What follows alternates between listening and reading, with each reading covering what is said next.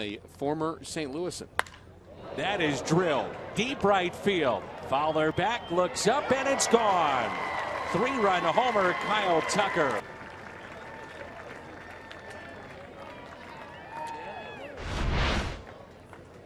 Well, not to start anybody.